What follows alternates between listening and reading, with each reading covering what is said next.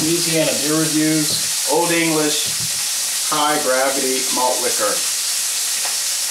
Olde English 800 HG is very strong. It's 8% alcohol. It was introduced in 2001, two years after Miller acquired the Olde English brand from Pabst in their blockbuster deal. Okay, I bought this at a little grocery store on uh, Commerce Avenue close to the Alamodome. And I already see that it's expired since May. But that's alright because Miller says that all their beers should be fine a year out past the expiration date if they're canned or bottled.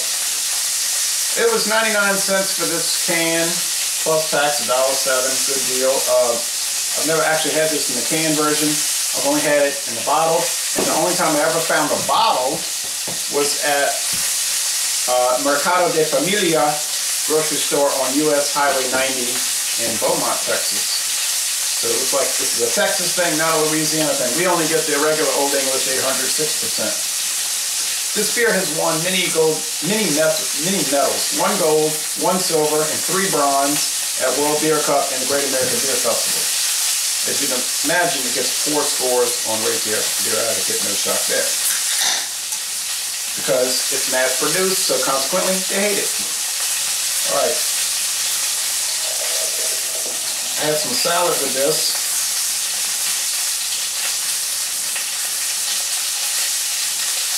Um, currently cooking. Okay, so I have uh, some spinach salad with a black olive, some fried onions and some Ken's. salad dressing. I really am impressed with Ken's steakhouse salad dressing, really good stuff. I'm frying, let's see. Okay. And I have some uh, Pelicano's Little Italy style meat flavor pasta sauce. Never bought this before, don't know if it's any good, hope it is. All right.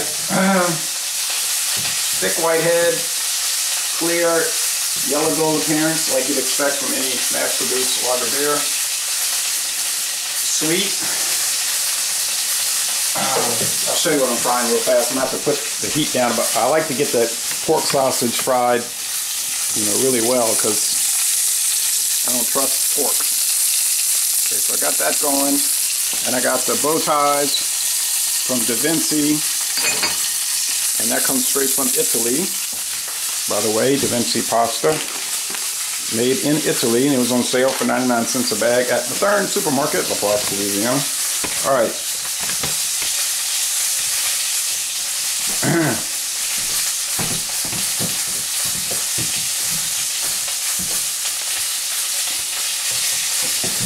okay, get this straight. Okay, I'm gonna turn the heat down just to the low, low, low setting. I don't want to burn it very low. All right. Um, sweet, nice beer smell, beer aroma.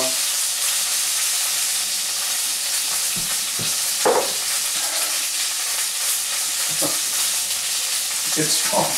It's strong. It's full flavored. It's bold. Um, but it's it's got a sweetness, a grain um, aspect for sure. They use the yellow corn grits and barley malt. Water, hop, and yeast. Um,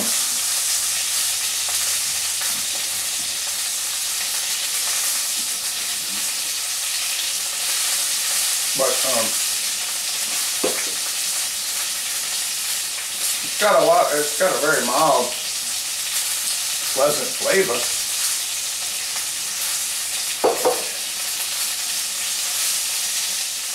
The mouthfeel is pretty light and watery, although it does have body to it. It's not totally light. It's uh,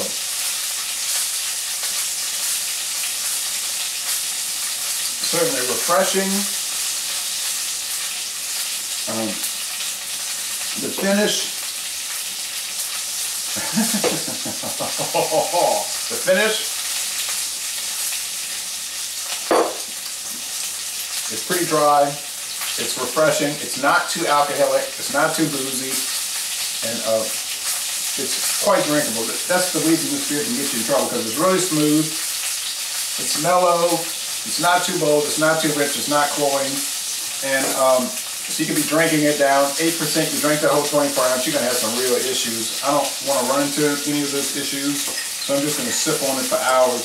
You do want it ice cold. I had it in the fridge. I'm going to put it back in the fridge. Actually, I had in the freezer for a little while.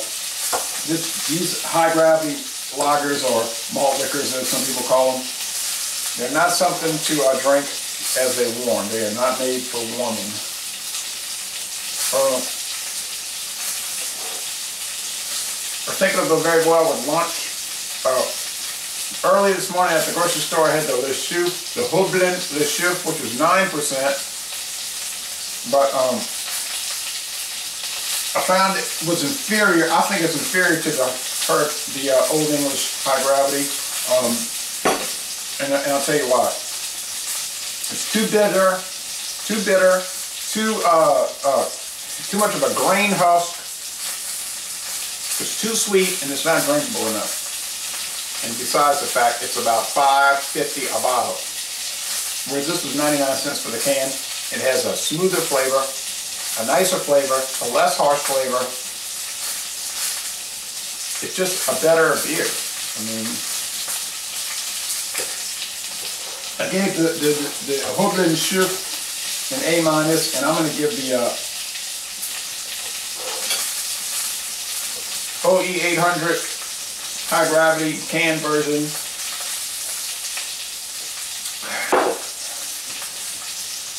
We're going to give it a solid A. Most excellent. You can't go wrong with it. Too bad it's not sold in Louisiana, but we do get the Icehouse Edge, also 8%. Very similar to this. Very similar. Not the same, but very similar. So let's uh,